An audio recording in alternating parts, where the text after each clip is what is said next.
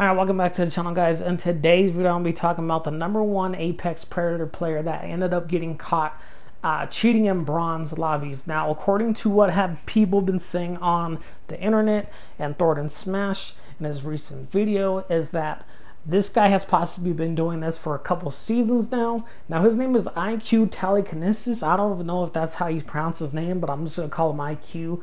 Uh, but according to this guy, he doesn't really like have an IQ because if you got to cheat to play a game because you obviously suck at the game itself, just don't play, man. Um, a lot of people do the same shit in Call of Duty. It doesn't make you a better player. It just makes you look like a jackass. And uh, Apex hit this guy with a ban. Uh, who knows how long this ban is going to be for? Um, it could possibly be seven days. It could be longer. Uh, but who knows um, if he gets his account back. Hopefully he doesn't.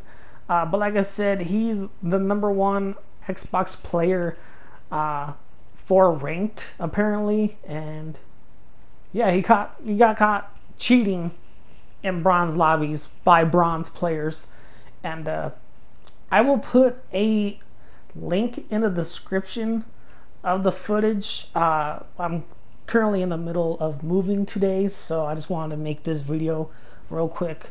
So, sorry I don't have the footage, but if you guys would want to check it out, go down in the link of the description and shout out to the person that ended up um, um, finding this stuff out.